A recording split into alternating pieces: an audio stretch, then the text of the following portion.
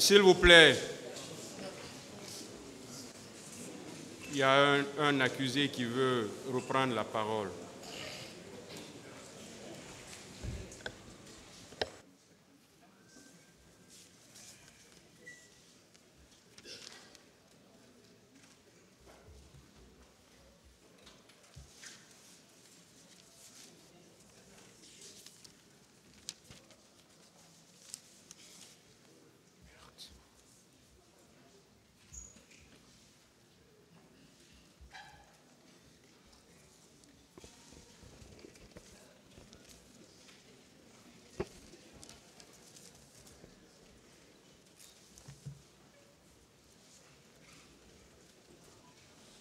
Allez-y, monsieur le procureur. Merci, Monsieur le Président.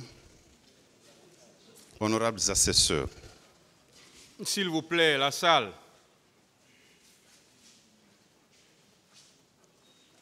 nous venons spontanément euh, d'entendre les déclarations de l'accusé Marcel Guilavogui qui dit vouloir faire des déclarations euh, pour éclairer la lanterne du tribunal. Monsieur le Président, il est vrai que nous étions à la phase de l'audition des parties civiles. Euh, la preuve, c'est que vous avez, appelé l'une des parties civiles et spontanément, M. Marcel Guilavogui, dans le box, a levé le doigt est venu vous dire qu'il veut faire des déclarations. Prenant appui sur les dispositions des articles 400 et 401, Monsieur le Président, je vais insister notamment sur l'article 401 qui indique que le président est investi d'un pouvoir discrétionnaire en vertu duquel il peut, en son honneur et conscience, prendre toute mesure qu'il croit utile pour découvrir la vérité. Cette prise de parole, d'après l'accusé, c'est pour dire sa part de vérité. Donc, Monsieur le Président, euh, vous voudrez bien lui donner la parole pour qu'il puisse livrer sa part de vérité comme il le dit. Je précise que l'ordre d'intervention auquel vous ne pouvez pas déroger d'après la loi, c'est après la clôture des débats. Et ce, je prends pour appui les dispositions de l'article «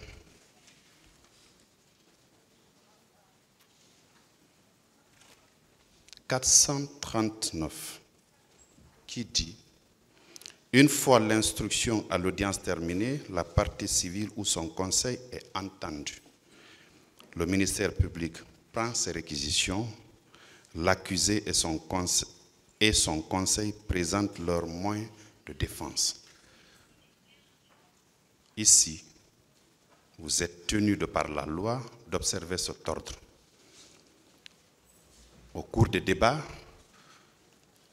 la loi vous donne la possibilité d'entendre toute personne qui peut livrer une parce qui peut détenir une parcelle de vérité qui pourra éclairer la lanterne du tribunal. Donc, Monsieur le Président, sur le fondement de l'article 401 du Code de procédure pénale, vous voudrez bien redonner la parole à Monsieur Marcel Guilavogui pour qu'il nous dise sa part de vérité. Je vous remercie. Partie civile.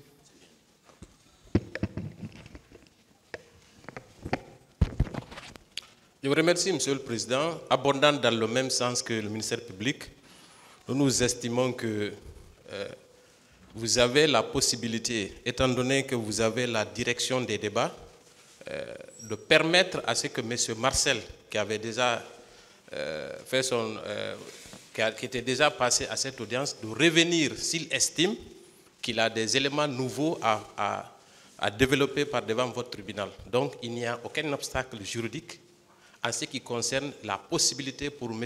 Marcel de revenir expliquer ce qu'il a peut-être eu à omettre. Et cela va dans le sens même de la manifestation de la vérité. Tout ce qui peut concourir à la manifestation de la vérité, Nous pensons que dans cette salle, étant donné que nous sommes tous des professionnels, nous concourons tous à cette fin, puisque éclairer la lanterne du tribunal est le rôle de chacun d'entre nous dans cette salle. Donc, je ne vois mal comment quelqu'un peut s'opposer à cette démarche. En tout cas, si il a envie que cette affaire soit élucidée. Donc, sur le plan juridique, Monsieur le Président, il n'y a aucun obstacle, étant donné que vous êtes euh, celui qui dirige les débats. Le ministère public a fait état de l'article 401 et 401. Effectivement, ces dispositions vous permettent de le faire. Donc, sur ce, Monsieur le Président, en ce qui nous concerne, je pense que nous n'avons pas d'obstacle à ce que le capitaine Marcel revienne à la barre pour expliquer sa part de vérité. Je vous remercie, Monsieur le Président, pour votre patience. La défense.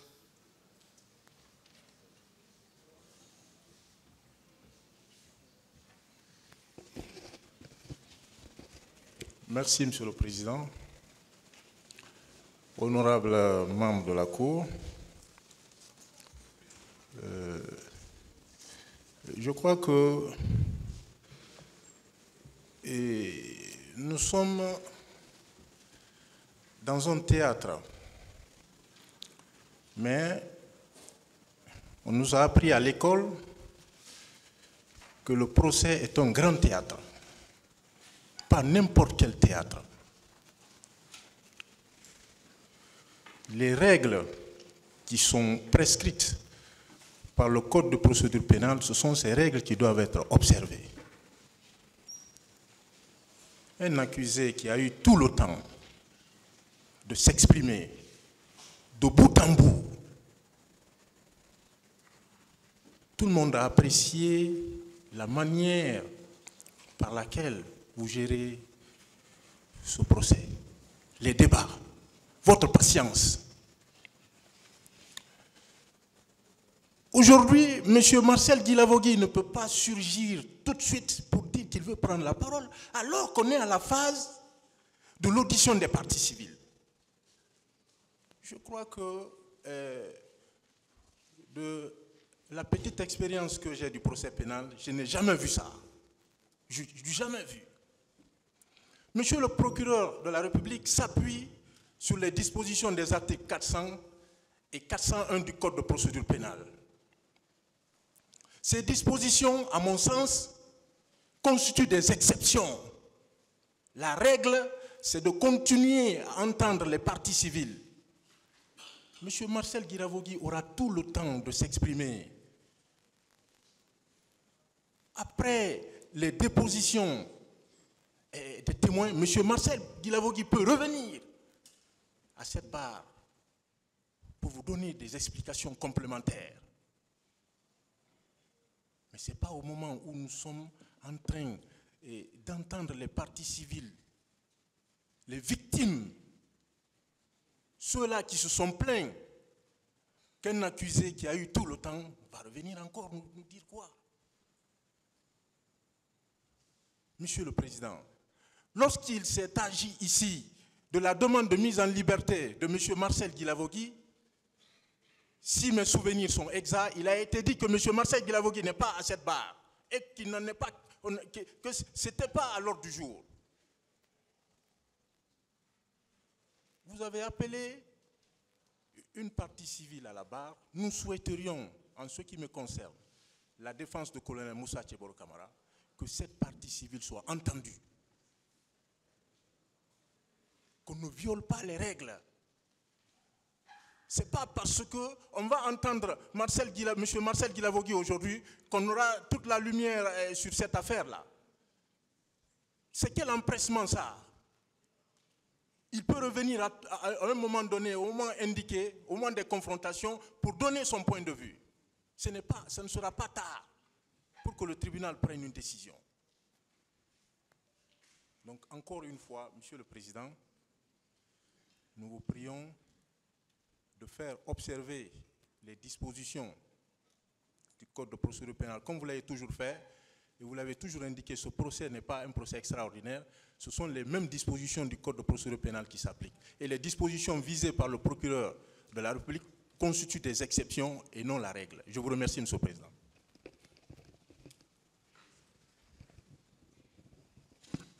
Quand l'heure de la vérité sonne, il faut la faire exploser parce que cette assemblée n'aurait plus de sens si ce n'est pas pour triompher, triompher la vérité, le droit, la justice et l'équité. Marcel, on ne sait pas ce qu'il va dire. Mais je crois que ce n'est pas un petit accusé, c'est un témoin majeur dans cette affaire. Et tout comme la police scientifique va exhumer les corps qui ont été enterrés en des endroits que nous cherchons à identifier,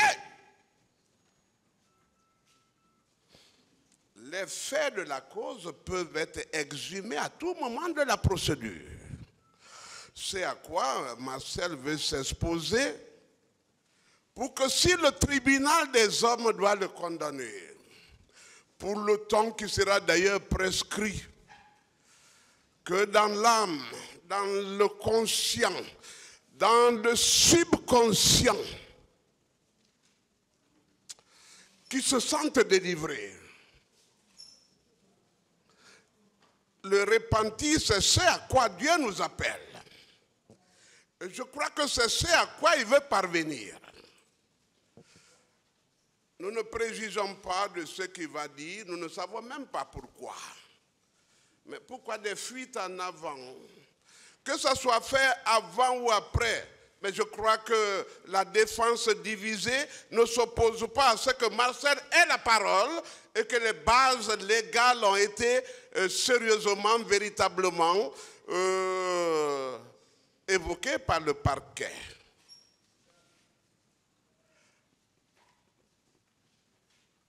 La manifestation de la vérité. S'il peut participer, pourquoi ne pas lui donner la parole? Pourquoi avoir peur de mourir quand on doit mourir? Monsieur le Président, à vous l'impérium, à vous la décision, vous avez la base légale, je crois qu'elle est opposable à la partie civile, à la défense, tout bord confondu. À vous la décision, Monsieur le Président. Merci, Monsieur le Président. Euh, la question qui est soulevée, s'agissant de la reprise des paroles par euh, M. Marcel Guilavogui, à cette phase de la procédure, est-elle une question régie ou pas? Par les dispositions du Code de procédure pénale C'est à cette question, Monsieur le Président, que vous devez répondre. Vous, et vous seul, parce que le Code de procédure pénale, en la matière, n'a conféré des pouvoirs qu'à vous. Je me ferai l'obligation de revenir sur les dispositions des articles 400 et 401 du Code de procédure pénale. L'article 400, Monsieur le Président, le président a la police de l'audience et la direction des débats.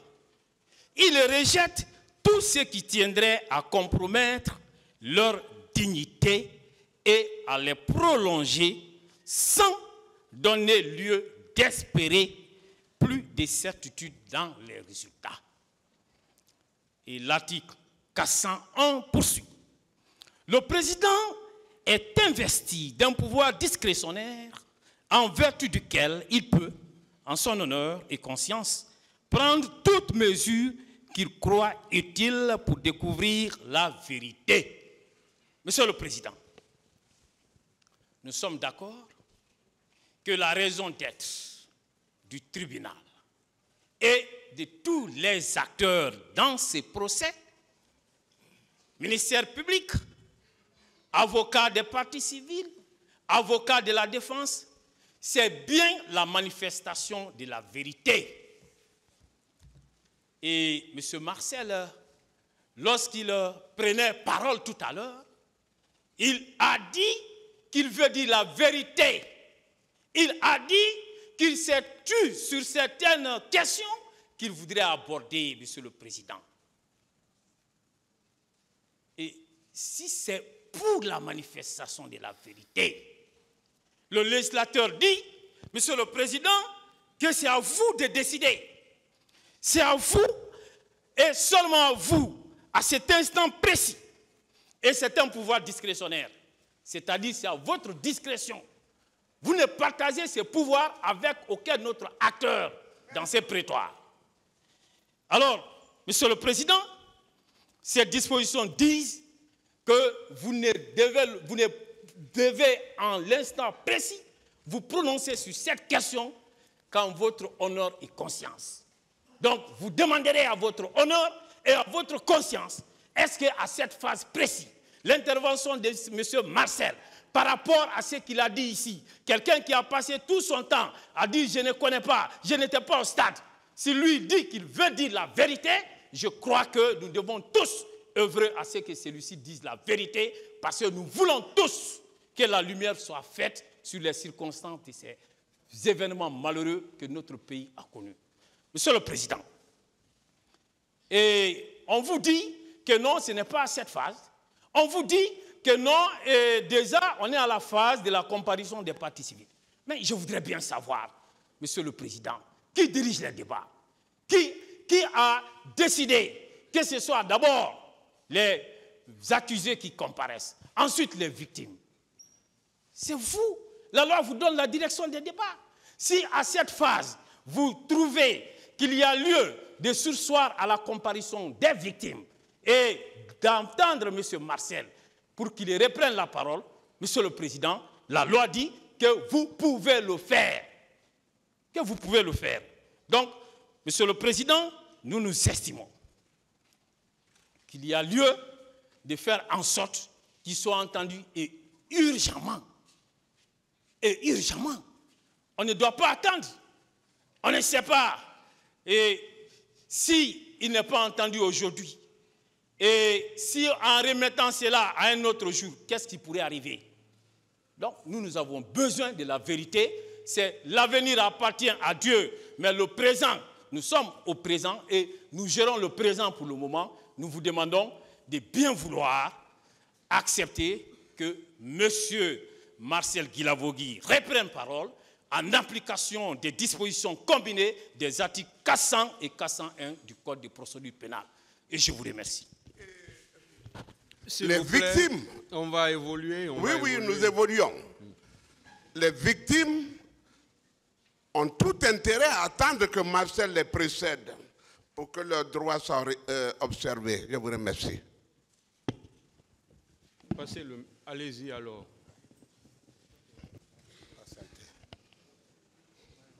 Merci, Monsieur le Président. Je crois que nous sommes par devant votre tribunal pour des faits sérieux.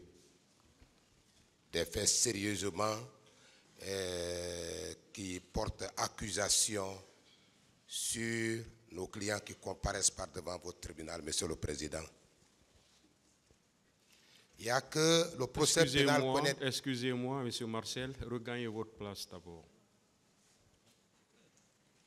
Allez-y, maître. Merci, Monsieur le Président. Il n'y a que le procès pénal connaît des phases. Le procès pénal connaît des phases. Lorsque votre tribunal a décidé prioritairement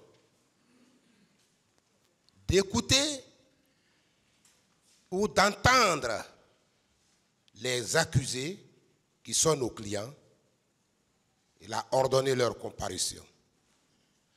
Chacun des accusés a comparu par devant votre tribunal.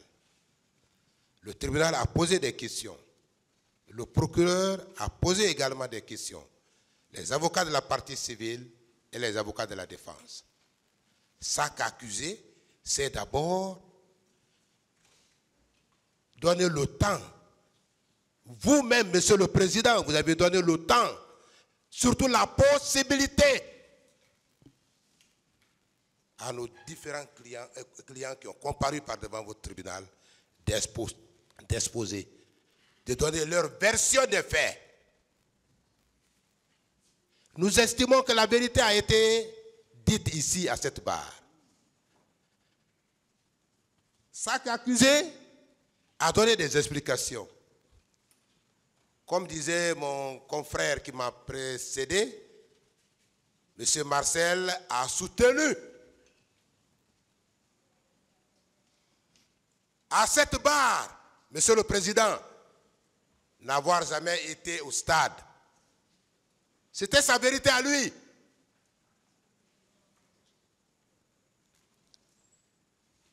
Il est allé jusqu'à produire, Monsieur le Président, à cette barre, un certificat médical, comme pour justifier qu'il était malade au moment des faits, qui nous mobilise par devant votre tribunal, dont l'examen nous mobilise par devant votre tribunal, Monsieur le Président. Cela a été fait. Cette phase, nous l'avons appelée la phase de comparution des accusés. La phase de comparution des accusés. Monsieur le Président,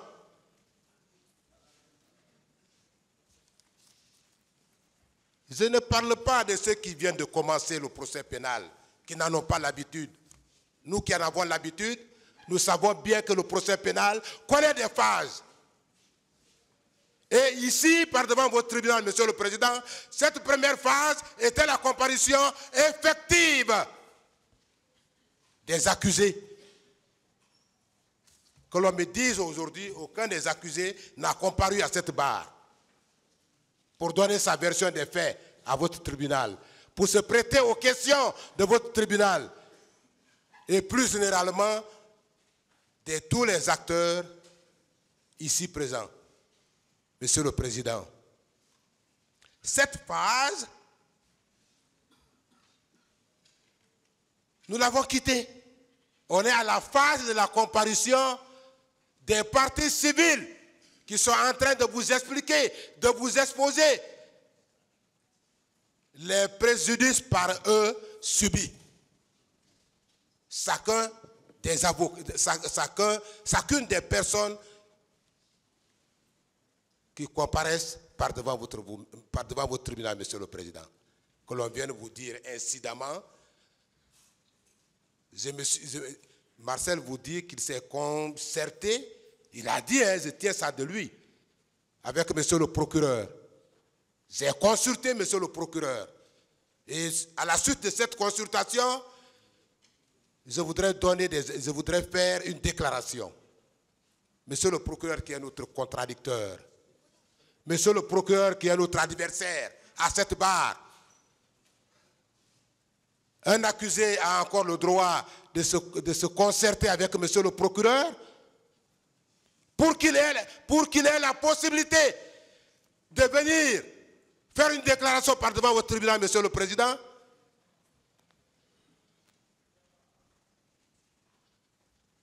Après, on vous dit qu'en application des dispositions combinées des articles 400 et 401, Monsieur le Président, en se référant à cette, disposition de l'article 400, personne ne vous nie le pouvoir que vous avez en ce qui concerne la direction, la direction des débats. Qui peut vous nier ça? C'est la loi qui l'admet. Nous sommes d'accord, nous sommes unanimes que la loi l'admet. S'il vous plaît, calmez-vous. Nous sommes d'accord, Monsieur le Président. Mais cet impérium est limité par la loi. C'est vrai, dans cette salle, après Dieu se boue, dans cette salle, Monsieur le Président. Ça, c'est connu de tous. Après Dieu, dans cette salle, se boue. Mais on ne doit pas se servir de cette éventualité pour vous induire en erreur. Monsieur le Président, nous autres acteurs du procès pénal, de la défense, de la partie civile et même du parquet, nous devons vous aider à dire le droit et non pas vous induire en erreur comme ils veulent l'entreprendre. Maintenant, nous allons nous opposer à cette manière d'induire votre tribunal en erreur, Monsieur le Président. vous avez commencé à auditionner les parties civiles. Nous avons estimé que l'interrogatoire des accusés était déjà fini. Et que, à la phase actuelle du procès, Monsieur le Président, c'est l'audition des parties civiles. Après cette phase, Monsieur le Président, ce sera les témoins, la phase de la comparution des témoins pour leur déposition, Monsieur le Président. La phase de la comparution des témoins pour leur déposition à cette barre. On vous dit non, Monsieur le Président, c'est vous qui avez la police de l'audience. Mais après tout, on ne parlera pas d'eux. Après tout, on ne parlera pas du ministère public. On ne parlera pas de la défense. On ne parlera pas de la partie civile, mais on parlera de votre tribunal. Vous êtes en train de juger. Et le peuple aussi est en train de vous juger, Monsieur le Président. C'est ça la vérité. C'est ça la vérité.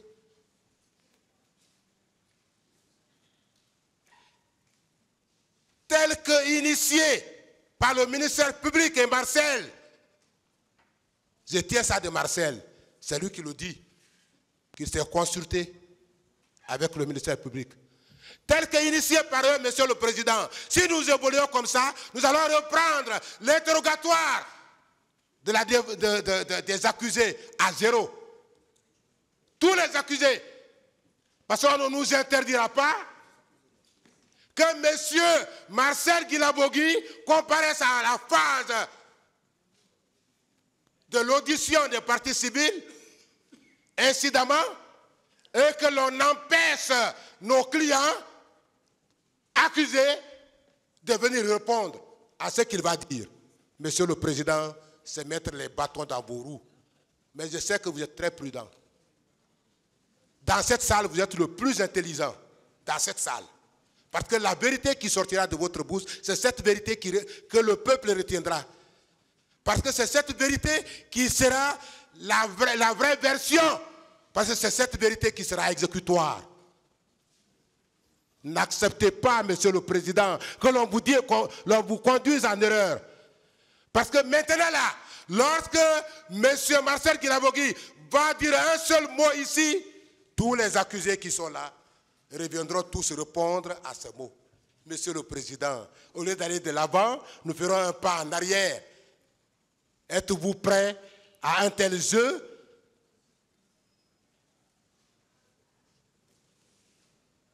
J'ai dit non. C'est pourquoi, Monsieur le Président, la vigilance vous recommanderait d'éviter d'être induit en erreur par le ministère public et toutes les personnes qui voudraient bien le suivre dans son raisonnement. Monsieur le Président, vous avez toujours été prudent. Monsieur le Président, vous avez toujours été vigilant. Monsieur le Président, jusqu'à maintenant, vous avez conduit les débats sans parti pris. Vous avez conduit les débats en un magistrat pénaliste. Nous voudrions bien, Monsieur le Président, que vous continuiez sur cet élan. Ne vous laissez pas induire en erreur. Parce que, au lieu que nous partions de l'avant, nous allons reculer. C'est pourquoi, humblement, Monsieur le Président, le procès pénal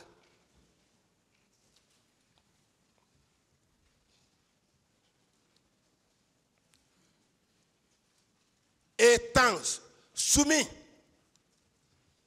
à des phases que nous venons d'énumérer, Monsieur le Président, la phase de l'interrogatoire, la phase de l'audition des parties civiles, la phase de déposition des témoins et la phase de la confrontation, Monsieur le Président, nous sollicitons humblement qu'il vous plaise, rejeter cette demande. Si Marcel doit faire des déclarations, ce sera après, certainement, après, certainement, l'audition des parties civiles, la déposition des témoins il pourra éventuellement, s'il y a lieu, et seulement sur la décision que vous allez entreprendre, prendre la parole. D'aucuns vous diront, Monsieur le Président, d'aucuns vous diront que nous sommes en train d'empêcher la comparution de Marcel parce qu'eux, ils ne connaissent pas le procès pénal. Mais ceux qui connaissent le procès pénal, ils savent bien, Monsieur le Président, que oui, Monsieur Marcel a eu la possibilité de se défendre. Il a eu la possibilité de faire des déclarations. Il a eu la, possibilité de vous dire tout ce qu'il devrait dire. Mais on ne peut pas empêcher le cours normal du procès pour revenir en arrière, comme s'il était absent. Parce que simplement, certains sont derrière.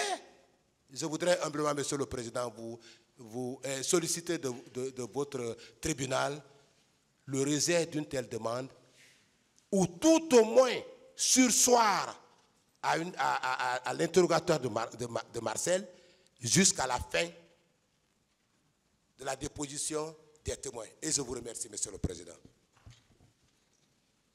Merci, Monsieur le Président, Messieurs les assesseurs. Monsieur le Président, sur la question, mon intervention sera axée sur deux points. Le premier point est relatif à la confirmation ici à la barre de votre tribunal de l'entretien déloyal, illégal, inadmissible et inconcevable entre M. Marcel Guilavogui, accusé, et le procureur de la République près le tribunal de première instance de Dixine. Et le second point va concerner la question de l'opportunité de la reprise de parole, de parole par M. Marcel Guilavogui. Sur le premier point, Monsieur le Président, honorables assesseurs,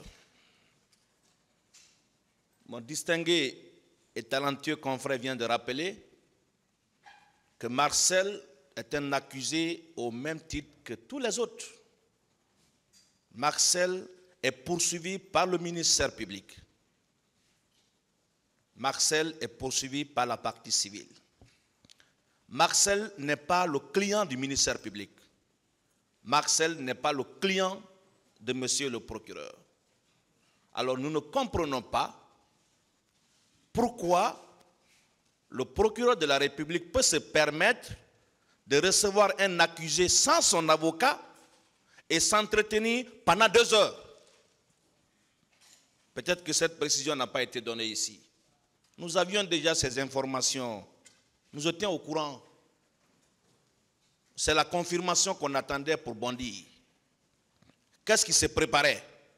Qu'est-ce qui se tramait? Certainement, nous allons le savoir si vous le permettez. Et ça encore, ça sera très grave. Monsieur le Président, c'est comme si moi, avocat du président Moussa Dadis Kamara, me permettait de recevoir une des victimes dans ce procès sans l'aval et à l'insu d'un avocat de la partie civile. C'est pourquoi je dis que c'était un entretien déloyal. Pourquoi le principal poursuivant peut s'entretenir avec la personne qu'il poursuit à l'insu, en l'absence et sans le consentement de son avocat. Ce procès est un procès qu'on doit prendre au sérieux. Ce procès met en péril la vie et la liberté des gens. Ce procès est médiatisé. Ce procès est vu partout dans le monde entier on se doit de donner, le bon exemple. Monsieur le Président, pour moi, admettre une telle démarche serait cautionner la déloyauté du ministère public que nous dénonçons. Nous savons déjà cette coalition entre ministère public, partie civile et une partie de la défense dans le seul but de désorienter la bonne direction des débats. Et je pense que le tribunal ne doit pas se prêter à ce jeu et il ne doit pas tomber dans ce piège au risque d'enlever à ce procès le crédit qu'on lui accorde. Le dernier point sur lequel je vais intervenir, qui concerne d'ailleurs l'opportunité de l'intervention ou de la reprise de parole ici de M. Marcel Guilavogui.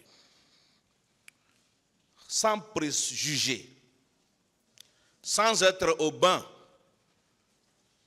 sans être dans le secret du ministère public, de la partie civile, de cette défense divisée qui est certainement au courant de ce que Marcel veut dire ici, euh, je ne vais pas revenir sur l'ordre déjà décrit par le distingué et talentueux confrère en ce qui concerne le déroulement du procès criminel. Je ne reviendrai pas sur ça, Monsieur le Président. Mais Monsieur le Président, j'ai seulement envie de vous rappeler qu'avant ce jour, des questions, des demandes ont été posées ici, tant par les avocats de la défense, de la partie civile, du ministère public. Mais la réponse qui a toujours été donnée par le tribunal face à ces questions serait qu'il n'était pas opportun d'en parler maintenant.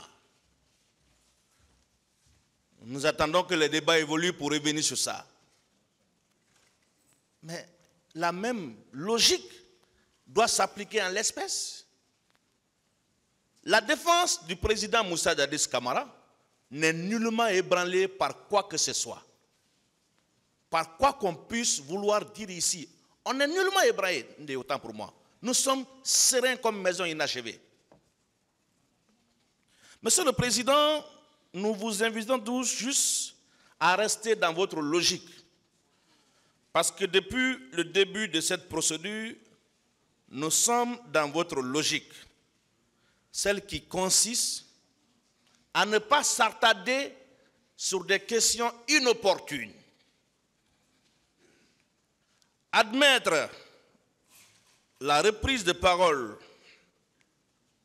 de Marcel Guilavogui à cette phase de la procédure serait encourager tous les acteurs, partis civils, accusés, à vous dicter la conduite des débats. Il ne revient pas ici à une partie civile de dire euh, j'avais dit quelque chose, j'ai oublié, je vais revenir sur ça, donnez-moi la parole. Ou un accusé, non. Il y a une étape prévue à ça. Vous pensez, Monsieur le Président, honorables assesseurs, que le capitaine Moussa Dadis, après le passage de certains accusés et de certaines parties civiles, n'avait pas aussi eu besoin de prendre la parole? Oui, mais il n'a pas fait la demande parce qu'il attend le bon moment pour reprendre la parole et apporter des réponses précises à des affabulations qui ont été faites ici. Mais comme ça, on vient à tout hasard, on surgit de nulle part pour demander de reprendre la parole. Monsieur le Président, si mes souvenirs sont exacts, Marcel était le premier accusé à qui vous aviez donné la parole, que vous aviez interrogé en premier lieu. Tchegoro, oui, après Tchegoro, oui, je crois que c'était le deuxième, oui. Et après lui, je crois on a fait plus de deux semaines d'interrogatoire et contre-interrogatoire. Qu'est-ce qui vous dit? Qu'est-ce qui vous certifie que ce qu'il va dire maintenant là, c'est la vérité que vous recherchez? Rien. À ce que je cherche, le tribunal n'a pas encore extériorisé sa conviction. S'il a une vérité qui n'est certainement pas la vérité qui pourrait être partagée par tous, mais qu'il attend le bon moment, Monsieur le Président.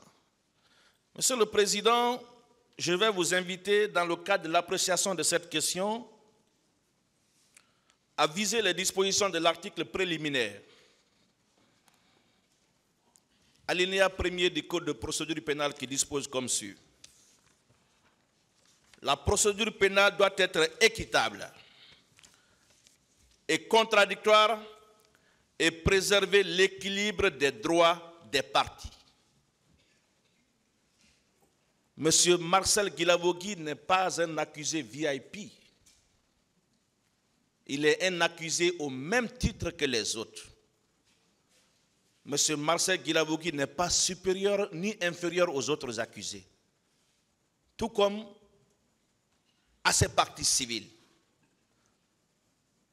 En vertu de quoi on va lui donner le privilège de reprendre la parole et laisser les autres. Si le tribunal se prête à ce jeu, c'est comme si on a fait neuf mois sans rien faire. Hein. C'est comme si on a fait neuf mois de promenade par devant cette juridiction. C'est comme si on a fait neuf mois de mise en scène. Je ne sais pas ce qui trame dans le secret des autres pour dire que c'est la vérité qu'il va dire ou ce n'est pas la vérité qu'il va dire. Vérité ou pas, tout ce que nous demandons, c'est la chronologie du déroulement du procès. Et ce que nous savons, c'est qu'après cette étape, on doit entendre les témoins. Et à l'issue de l'audition des témoins, on va éventuellement passer à la phase des confrontations. Mais si on veut à présent déroger à cette pratique, en tout cas de ma petite expérience aussi, hein, euh, bientôt 11 ans de bar, c'est la première fois d'assister euh, à de telles scènes, à de tels spectacles, à de tels précédents. Monsieur le Président, euh, sur ce, sans monopoliser la parole et abuser de votre attention, nous vous prions très humblement de bien vouloir ordonner la continuation des débats là où on avait interrompu. Je veux parler de la poursuite de l'audition des victimes. Mais Monsieur le Président, si d'aventure vous décidez autrement, ce qui pour nous serait catastrophique, ayez à l'idée que d'autres accusés aussi voudront, n'est-ce pas, prendre la parole? Et dans ces conditions, on va tourner à rond. Et finalement, ce procès sera pour l'éternité. Nous savons tous euh, les pesanteurs et les contraintes, pas besoin de les exposer ici. Mais je pense que nous devons respecter le tribunal. Nous devons prendre ce procès au sérieux pour ne pas surgir à tout moment et faire des demandes qui ne nous font pas avancer. Je vous remercie. Monsieur, le Président, euh, merci. Moi, je voudrais intervenir sur euh, trois points précis. Monsieur le Président, il vous a été demandé de faire application euh, des dispositions combinées des articles 400 et 401 du Code de procédure pénale. Tout à l'heure, mon aîné confrère vous a fait lecture des dispositions de l'article préliminaire du Code de procédure pénale qui impose au tribunal de préserver l'équilibre des droits des parties. Et l'article 400 du Code de procédure pénale précise que le président, à l'alinéa 2 bien sûr, rejette tout ce qui tendrait à compromettre leur dignité ou à les prolonger sans donner lieu d'espérer plus de certitude dans les résultats. Monsieur le Président, tout à l'heure, vous, M. Marcel Guilavogui a demandé la parole. Si vous donnez la parole à M. Marcel Guilavogui à ce stade de la procédure, tous les accusés, puisqu'ils bénéficient des mêmes droits et que vous avez l'obligation de préserver l'équilibre des droits des parties, donc de tous les accusés. Tous les accusés demanderont la parole et les débats seront compromis. En ce moment-là, la décision que vous avez prise en faisant application des dispositions de l'article 400, vous l'aurez violée vous-même dans ses conséquences. Deuxième chose, Monsieur le Président, que je veux préciser, c'est l'article 401. Et bien entendu, le procureur l'a rappelé tout à l'heure que vous êtes investi d'un pouvoir discrétionnaire, en vertu duquel, en votre honneur et en votre conscience, vous pouvez prendre toutes mesures utiles à la manifestation de la vérité. Monsieur le Président, je pense que s'il y a quelque chose de particulier dans ce procès, c'est euh, la sérénité de votre tribunal, vous et vos assesseurs. Vous n'avez jamais accepté que les rôles soient inversés. C'est ce qu'on sait de vous, c'est ce que le public sait de vous et c'est ce que le peuple de Guinée sait de vous. Je ne pense pas, Monsieur le Président, que euh, l'attitude, bien entendu, de l'accusé puisse vous faire changer de méthode de travail. Et justement, c'est pour ça que le législateur a insisté sur votre conscience et votre honneur. L'honneur du tribunal, c'est la préservation de sa parole, de sa ligne de conduite. Et cette ligne de conduite, si vous vous écartez de ça, vous vous auriez euh, écarté des dispositions, bien entendu, de l'article 401 du Code de procédure pénale. Mais confrères l'ont dit tout à l'heure, cette disposition vous donne certes un pouvoir discrétionnel, mais un pouvoir qui est encadré parce que votre décision que vous allez prendre, vous devez vous conformer non seulement en votre conscience, mais en votre honneur, et cela suppose que vous devez respecter l'ordre que vous avez toujours établi. Je voudrais rappeler ceci. Je suis un peu déçu, si vous voulez, des déclarations de certains confrères, notamment des aînés. Il a été dit à cette barre, à un moment donné, quand les partis civils ne se présentaient pas, ou quand il y avait insuffisance de partis civils dans la salle et qu'on renvoyait les audiences, il avait été demandé par certains confrères que nous puissions passer aux étapes de réquisition au plaidoirie ou éventuellement l'audition, euh, si vous voulez, des témoins.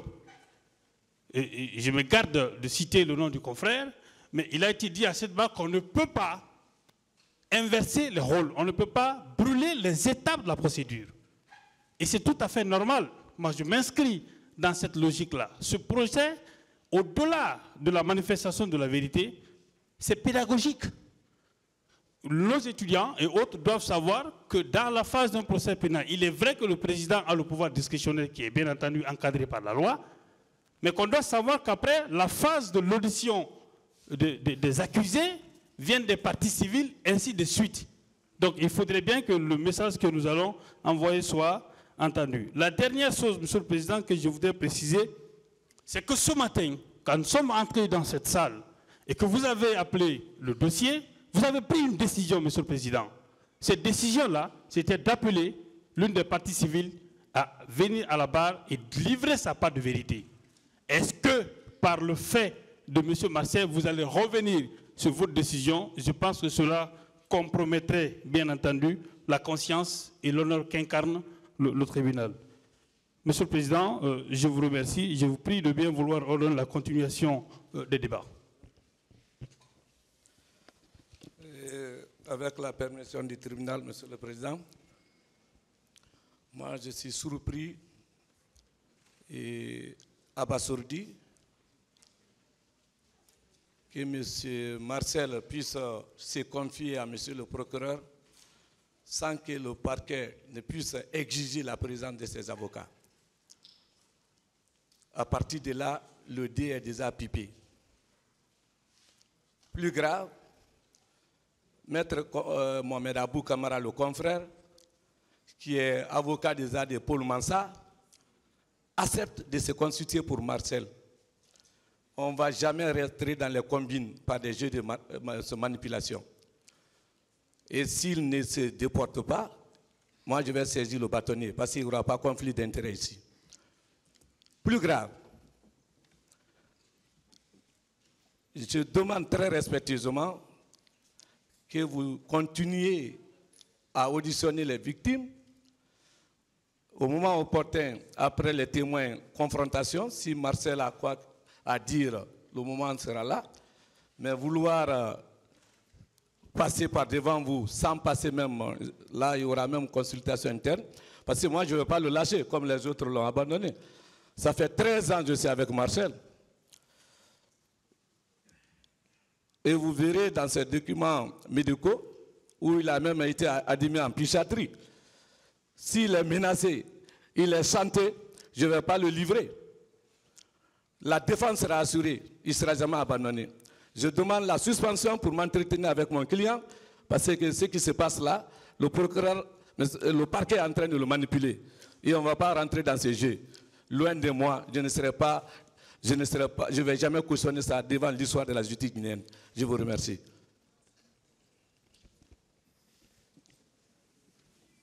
Monsieur le Président, Messieurs les, les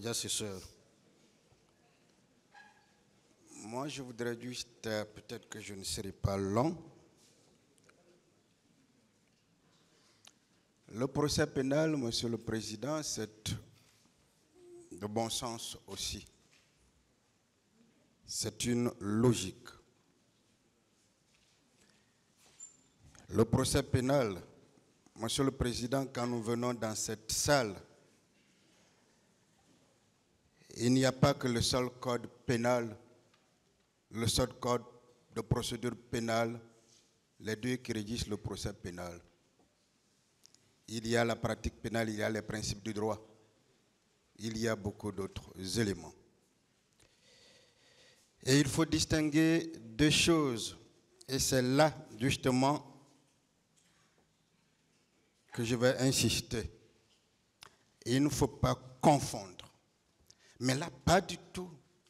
La police d'audience d'un président du tribunal criminel qui relève de sa souveraineté, de son impérium, de son pouvoir discrétionnaire, et que personne dans cette salle ici, en tout cas, je parle bien des professionnels qui maîtrisent ce que nous faisons, que personne ne pourrait vous contester, et l'ordre d'intervention de l'ensemble des acteurs, que ce soit les accusés, les parties civiles, les témoins, les experts éventuellement, et pour ceux qui viennent jouer ce rôle, le parquet qui poursuit, la partie civile qui défend les victimes, et la défense qui naturellement vient intervenir au nom et pour le compte des personnes qui sont poursuivies. Cet ordre d'intervention s'impose à vous. Qu'on ne trompe pas le tribunal, qu'on ne vous trompe pas, qu'on ne vous induit pas en, erreur. Alors, Monsieur le Président, la police d'audience telle qu'on en parle dans les articles 400 et 401 est très claire. C'est très très clair. Vous avez la direction des débats. Mais quel débat Vous avez, vous intervenez pour éviter que ce débat soit compromis dans sa dignité, que ce débat soit compromis. Mais cela ne vous donne nullement le droit en procès pénal, si je suis le raisonnement du parquet et de l'autre partie, je veux dire de la partie civile, et de l'autre partie de la défense. C'est comme pour dire que vous avez le pouvoir, quand nous venons à une audience criminelle, de faire d'abord, d'écouter d'abord la partie civile, après les accusés, après les témoins, après des experts s'il y en a, et autres. Vous n'avez pas ce droit-là. Et le droit pénal, c'est un droit de certitude. La procédure pénale, c'est un droit qui doit rester aussi infaillible, aussi possible qu'il s'impose à vous, à nous tous ici, le juge que vous êtes. Vous êtes tenu au respect strict de la loi. Alors, Monsieur le Président, comment se fait cet ordre d'intervention? Nous n'allons pas en doctrine qu'on nous a tous enseignée, qui est aussi une source indirecte de la règle de droit, comme d'ailleurs le code pénal, comme d'ailleurs le code de procédure pénale. Quand on est entré pour la première fois dans cette salle, et parce que c'est un procès comme les autres, même s'il est médiatisé,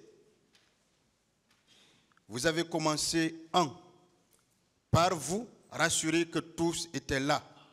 Vous avez donné la parole au greffier pour qu'il lise le procès verbal. Vous avez invité tous les accusés à écouter attentivement. Parce que cet ordre-là s'impose à vous. Après, vous avez commencé par appeler un à un chaque accusé ici. Parce que cet ordre-là s'impose à vous. Votre impérium joue là quand il s'agit de faire passer tel accusé, tel ou tel ou tel autre avant l'autre.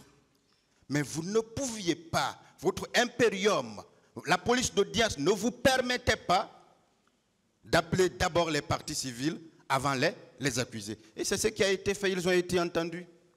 Après eux, la loi impose aussi, vous impose que vous appelez les parties civiles. Vous ne pouvez pas ne pas les appeler et attendre d'appeler les témoins avant de revenir à eux.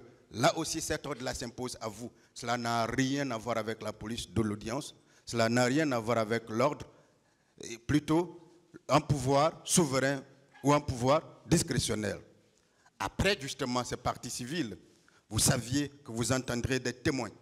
S'il y a des experts, vous le saviez que vous les entendrez.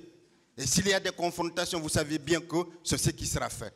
Maintenant, je voudrais dire d'emblée, d'emblée, Monsieur le Président, Messieurs les assesseurs, que l'avocat que je suis, je ne serai jamais opposé à ce qu'un accusé, qui qu'il soit, que ce soit M. Marcel, que ce soit M. Claude Pivy, que ce soit M. Thiebro, que ce soit M. Diaby, que ce soit M. Goumou, Blaise Goumou, ou que ce soit toutes les parties civiles qui ont déjà défilé ici, ou éventuellement des témoins qui seront entendus, l'avocat que je suis, je ne m'opposerai jamais si un d'eux voudrait encore la parole pour en parler, pour venir communiquer. Mais par contre, je serai opposé que l'on ne, ce que mon confrère a appelé l'opportunité. Dans un procès pénal, on ne va pas devant, on retourne derrière, on va à gauche, on va à droite, on revient au centre. Dans un procès pénal, il y a un temps de parole pour tous. Et il faut que ce temps de parole pour tous soit respecté. C'est pourquoi lorsque nous allons finir de la défense, nous allons finir de parler, si la partie civile veut répondre, si le parquet veut répondre, vous aurez d'abord l'obligation de donner la parole au, parquet, parce que cet ordre-là s'impose à vous. Donc on ne confonde pas la police de l'audience à l'ordre d'intervention de tel et de Et M. Marcel, les accusés ont déjà communiqué, les parties civiles sont en train de déposer devant vous, qu'on ne mélange pas les choses, qu'on ne chamboule pas les choses. Nous sommes dans un procès médiatisé, faisons les choses de manière civilisée, parce que c'est un procès civilisé. Et chacun de nous est vu ici, mais chacun de nous est également vu ailleurs. Je reviens sur un dernier élément et très important. Peut-être que beaucoup oublient. Chaque fois que, Monsieur le Président, vous avez appelé une partie à l'audience, vous avez pris une décision. Vous avez pris une décision. Et celle-là est une décision de justice qui s'impose à vous, qui s'impose à toutes les parties. Nous venons d'entrer dans cette salle d'audience. Vous avez appelé, il me semble, monsieur, je ne sais plus, Barry, mais qui est venu à l'audience, qui devrait tenir sa parole. Est-ce qu'un acteur ici est supérieur à un autre acteur pour que pendant qu'un acteur a la parole, qu'on lui retire la parole pour que lui, il vienne communiquer? Moi, je suis avec les principes. Je suis avec les principes. Les détails. Mais je suis déjà heureux lorsque une personne poursuivie au criminel vient devant vous dire, je veux dire la vérité, Il vous dit qu'il n'a jamais dit la vérité. Mais ça, c'est un autre problème. Nous en discuterons parce que personnellement, je ne sais pas ce qu'il va dire. Eh bien, dans tous les cas, je suis avocat, préparé à tout pour répondre ou intervenir, quel que soit ce que je peux voir devant. Mais je ne souhaite pas que nous essayons, par une décision qui pourrait être prise, ou peut-être de ternir l'image de notre pays, de ternir l'image de notre justice, parce que nous devons aller de l'avant. Et M. Marcel aura tout le temps de parler. Il aura tout le temps de parler lorsque le moment viendra. Je vous remercie.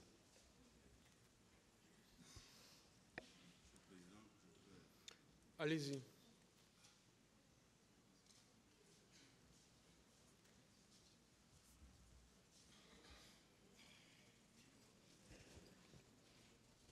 Merci, Monsieur le Président. Et nous avons tous intérêt à ce que on parvienne à la manifestation de la vérité. Opportunité, dit-on. Mais qu'est-ce qui est plus opportun? Qu'un accusé veuille parler,